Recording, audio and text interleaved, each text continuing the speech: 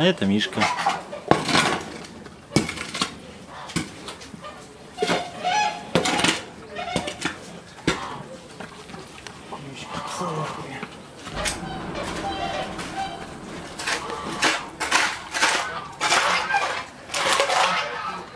Маш, у него то же самое, что и у тебя.